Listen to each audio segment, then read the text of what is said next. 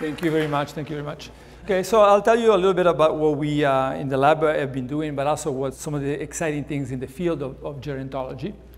And first, I start by saying that the medical field is really turned into a band-aid field, right? So we wait until somebody develops cancer, and then we use chemotherapy or other therapies that you know do some good, but also you know kill uh, cancer cells, but also kill the normal cells. Or or with Alzheimer's, we wait until somebody's brain is, is very damaged beyond repair, and then we do is, you know, we put a band-aid on it, essentially, and try to keep the person from progressing further in their dementia, but it doesn't really do much good. But even if we were able to be very successful in, uh, in curing some of these diseases, I always ask this question and guess what would be how much longer we would live if we were good enough to completely cure cancer.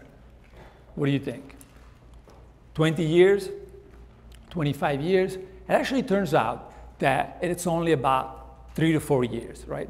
And, and what if we were uh, good enough to cure cancer, heart disease, stroke, and diabetes today? And the answer is, is about 13 years. And the reason for this is that if one disease doesn't get you, something else will.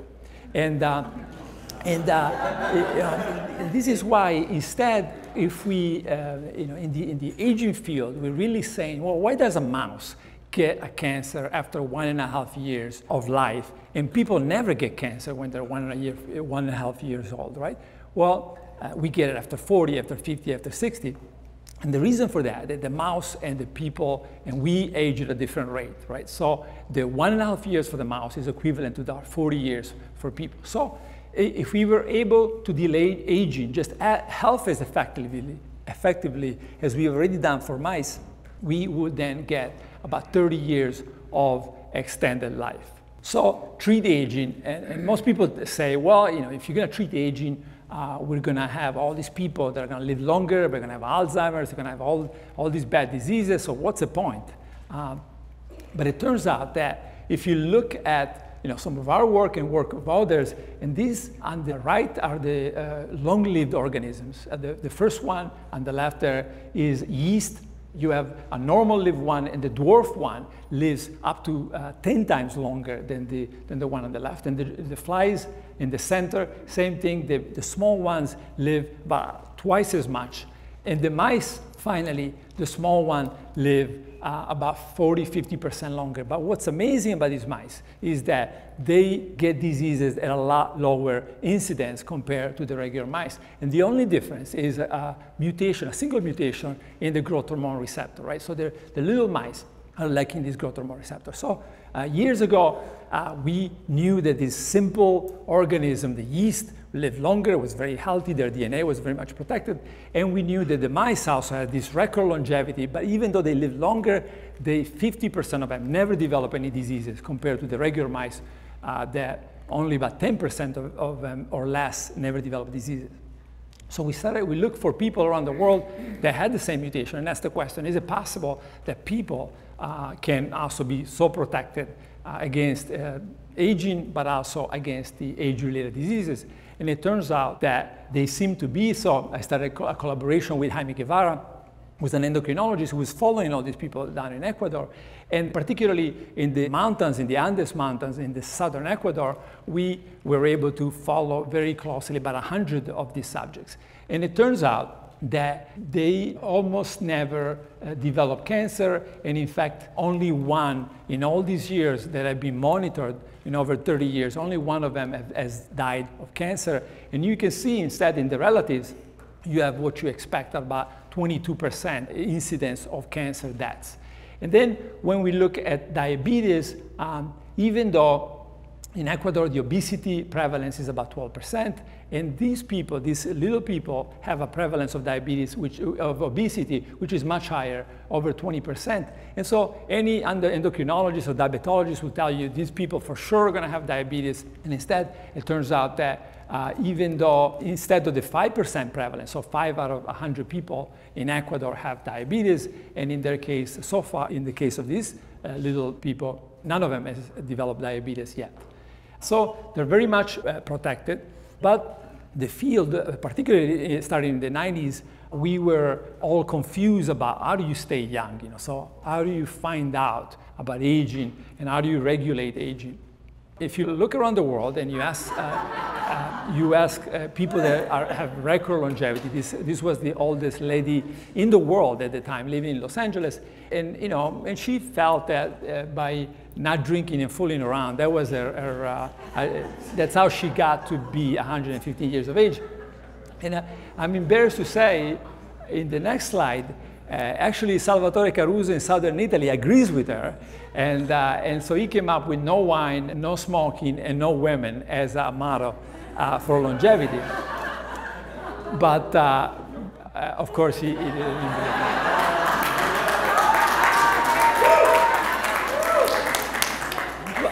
but uh, Madame Calment of France obviously uh, disagrees. Uh, and, uh, and not only she disagreed, but she got the record, right? She made it to 122 years and a half of age.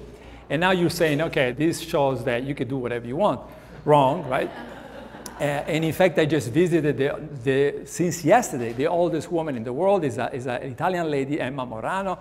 And you know, everybody said, well, you know, she eats three eggs a day and steaks, et cetera, et cetera. But then when you look deeper, it turns out that a lot of people in her family live to 100, 102, 103. And that tells you it's so difficult to make it to 100. And that tells you there's genetic, uh, the genetic makeup of these families is such that they're much, much more likely, potentially hundreds of fold more likely than everybody else to make it to such an old age. And this is why they can sometimes do whatever they want. Like in her case, you know, smoking to 117 years of age. And by the way, she quit smoking not because of health reason, obviously, but because she was embarrassed that she couldn't light up anymore. And that was her, uh, a, reason for, for smoking you know, a lot of us in the field, mostly 20 years ago or longer, we started saying, well, we can never figure out how people age because it's too complicated. So let's just turn into very simple systems, right? And some of us turned to the, the bacteria, the unicellular uh, baker's yeast, what's used to make bread and, and wine. And some people studied the worms. But you know, something that I first had described many years ago was if you starve these organisms, you, you switch them from, from a lot of nutrients to water, they live longer, right? So very counterintuitive. You think you starve them to death, but no. Not only did they starve, they lived longer, and they were very protected. So, and, and there was a very uh, surprising finding that I had made back in the days at UCLA and now, you know, decades later, we actually have, you know, don't worry about the details here, but we, uh, we now have a network. We understand that why fasting works, right? So particularly fasting works because amino acids uh, in the proteins in the diet activate one pathway, which is called TOR pathway, and another one is called growth hormone IGF-1. And then sugars in the, in the, in the, in the food activate a second pro-aging pathway, a, a pathway they, acti- uh, accelerate the aging process called PKA, right? So, uh, and, and, the other surprising thing we were uh, wishfully thinking for um, was that this is conserved, conserved from simple organisms all the way to humans. It turns out that it probably is.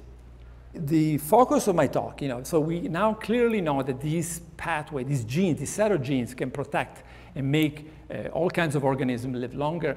But something that in fasting can uh, have a major contribution or orchestrate these genes but something that happened in one of the experiments in my lab that Chia-Wei Cheng was doing, which was we fasted mice, and when you fast the mice, they become very protected against chemotherapy and all kinds of different toxins. But chemotherapy is one of the, the ones we're using, now we're running a lot of clinical trials on this. But the more surprising thing was that um, even though the mice were protected from chemotherapy, after six cycles of fasting and chemotherapy, only in the mice that were fasted, uh, for, for the six cycles, the white blood cell number went back to normal. And so that was very strange. And we said, you know, this is not possible by protection. How can, how can they just go back to normal?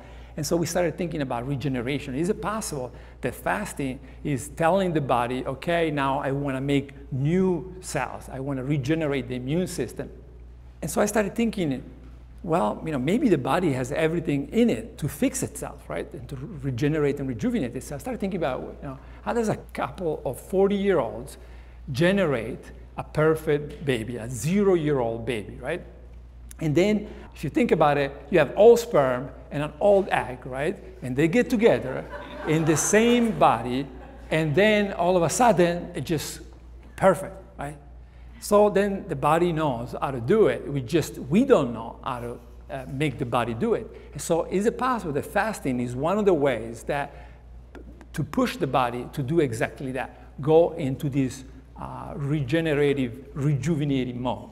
And evidence for that comes from the mice. We, when we took mice and started middle age, we gave them this what we call fasting mimicking diet. Now that we know how each ingredient orchestrates the, this, all this genetic network, we can play with the diet to make the mice think, and people, as, as you see in a second, think that they're fasting, right?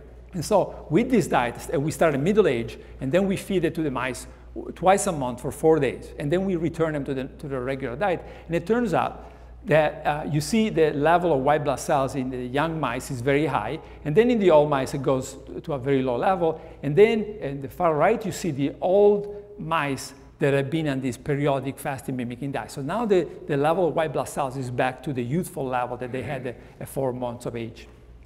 And uh, you know, so the, you know about the connection between the immune system and cancer.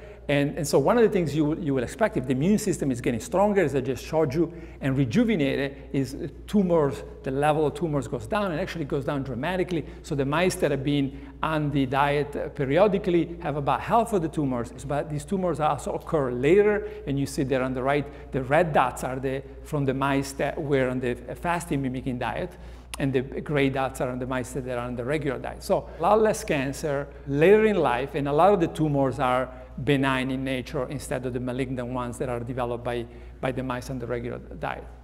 Okay, so uh, regeneration from within.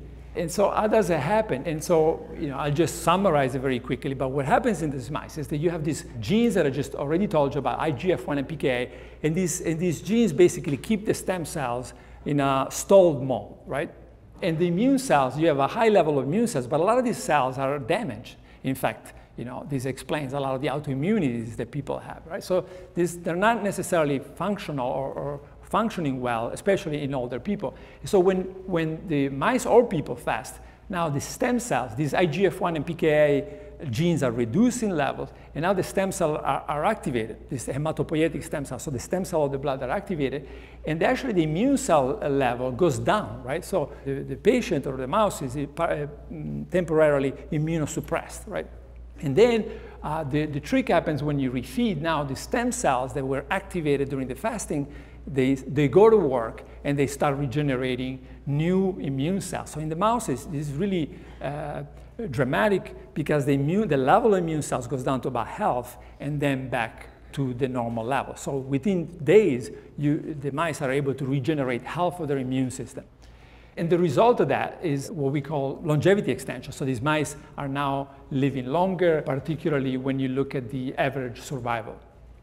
Okay, so what about people? Can we do this is in mice, but can this be transferred to people? And most people think that we can go maybe 10 days uh, without food. It turns out that most people, most of you, can go for 60 days, right? You can be with no food at all for two months, right? And actually, like the emperor penguins from, from the South Pole, some people can actually go for six months with no food at all, right? We completely forgot this used to be very common in all kinds of religions and now slowly is uh, disappearing from all religions. What happens during fasting? Uh, the, uh, the body, first of all, turns from a, a, glucose, a sugar burning mode, into a fat burning mode. So, and then you see there that those are the ketone bodies, beta hydroxybutyrate, the blue line, that is building up. So after just a couple of days on this fasting, your body completely reprograms. And even your brain that for most of you, all your life is being fueled by sugar, is now moving to a fat-based metabolism, right? This is why people get usually a headache after they, they, they fast for the first time. And so we uh, developed, again, we had the mouse fasting mimicking diet, so we developed the human fasting mimicking diet. And again, the point of this is to trick the body into thinking it's completely, it's fasting like in a water-only fast. And so we tested this in a group of, of 100 subjects at USC, and these people were asked to go on uh, uh, three cycles of this fasting mimicking diet that has between 800 and 1100 calories per day, and the diet lasts for five days. So they were asked to do three of these. So in three months, essentially, they did 15 days of this fasting mimicking diet.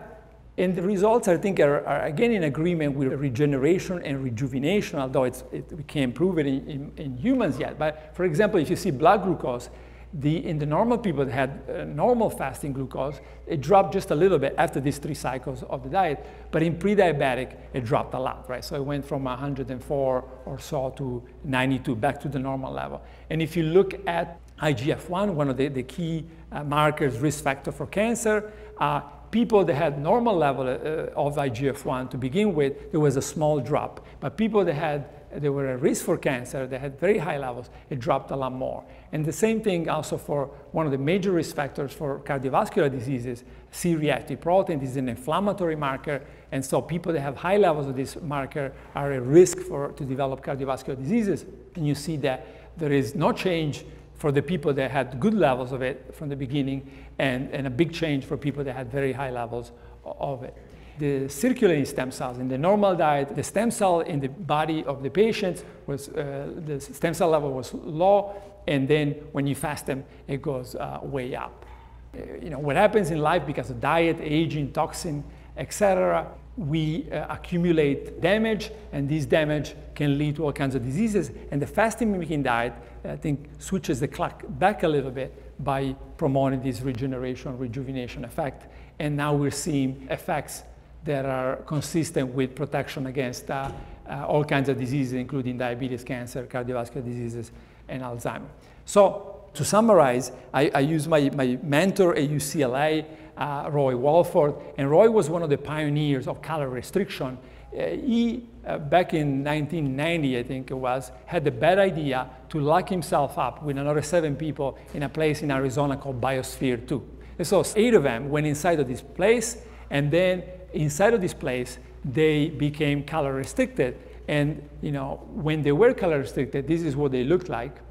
And so this is very extreme, right? They went to this very extreme uh, calorie restricted diet. But the point I'm, I'm, trying to make is about organs. You know, if you look at Roy Walford in the middle, while he was in, in the Biosphere 2, his organs had shrunk to very small levels. Like for example, his liver was probably about half of the normal size. So half of the size that it was before he entered biosphere 2 on the left, right?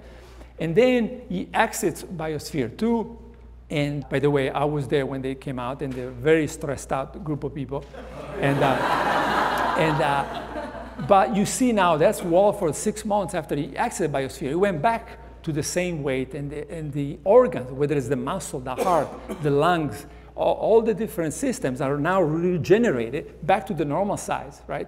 And there is really not many other ways to do that but to turn on stem cells and regenerate very much in the same way that uh, the baby, the um, zygote and the uh, blastocyst and the uh, the cells during embryogenesis are forming the embryos, right? So we think that that's probably the most powerful way to get this coordinated response, regenerating multiple systems back to a more youthful state. And I just want to end with uh, my last slide and with uh, Salvatore Caruso, who, by the way, was married and had children, so this idea about the woman maybe was a little bit made up. And uh, and uh, eh, but I, uh, I think you know uh, the diet helped him a lot, but also a, a, big uh, factor I think for Salvatore was he wanted to live. You know, he, he wanted to have the record, and he was always looking around the world like, who's older than me? You know, how many years? How many years I, I have to live to make it there? So that was great, and I'm just gonna end with this song. Yeah.